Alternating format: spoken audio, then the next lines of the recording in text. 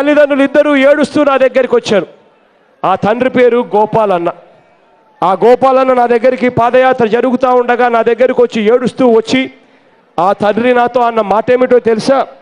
అన్న నా కొడుకు ఆ ఫోటోలో ఉన్న వ్యక్తి నా కొడుకు అన్నా అని అన్నాడు. అడిగా నేను అన్నా ఏమైందన్నా? అని చెప్పి నేను అడిగా. ఆ గోపాలన్న నాతో అన్న మాట ఏమిటో తెలుసా? అన్నా నా కొడుకు మంచి స్టూడెంట్ అన్నా. నా కొడుకు ఇంజనీరింగ్లో సీట్ వచ్చిందన్నా. కాలేజీల్లో చేర్పించే కార్యక్రమం చేశామన్నా. కానీ ఫీజులు చూస్తే లక్ష రూపాయలు పైగా ఉన్నాయన్నా అని అడిగాడు. ప్రభుత్వం ఏమో ఇస్తా ఉన్న ఫీజు రీయింబర్స్మెంట్ ఎంత అంటే కేవలం ముప్పై వేల రూపాయలు మాత్రమే ఇస్తా ఉందన్నా అని చెప్పి తన గోడును చెప్పుకున్నాడు. అన్న నా కొడుకు ముప్పై వేల రూపాయలు మాత్రమే ఫీజు రీయింబర్స్మెంట్ వస్తూ ఉన్న పరిస్థితిలో నన్ను ఎలా చదివిస్తావు అని చెప్పి నా కొడుకు అడిగాడన్నా. డెబ్బై వేల రూపాయలు ఎలాగో అలాగో అప్పు చేసి నా కొడుకును మొదటి సంవత్సరం చదివించానన్నా అని చెప్పాడు. ఆ డెబ్బై వేల రూపాయలు నేను అప్పు తీసుకొచ్చాను అన్న సంగతి నా కొడుకు తెలుసన్నా?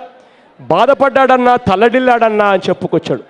రెండో సంవత్సరం మళ్ళీ నా కొడుకు ఇంటికి వచ్చాడన్నా ఇంటికి వచ్చి నాన్న ఈ సంవత్సరం ఏం చేస్తావు నాన్న? నా చదువుల కోసం అని అడిగాడు. ఏదో ఒకటి చేస్తాలే నాన్న నాన్న.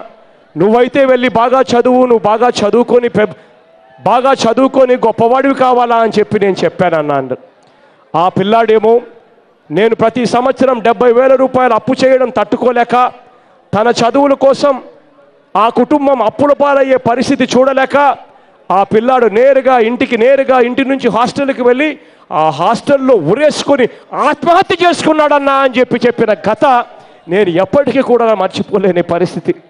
ఇవాళ రాష్ట్రంలో గోపాలన్న పరిస్థితి మాదిరిగానే ఇవాళ రాష్ట్రంలో చాలామంది తల్లిదండ్రులు ఉన్నారు.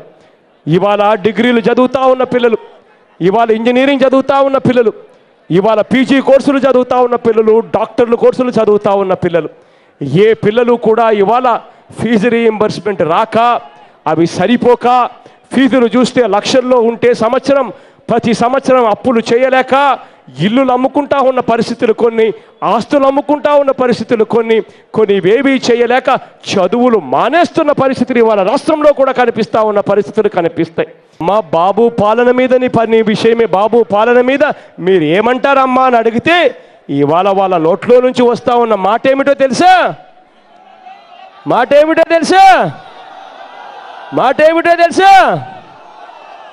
నిన్ను నమ్మం బాబు అని చెప్పి అంటా ఉన్న మాట ప్రతి నోట ఇవాళ వస్తా ఉంది.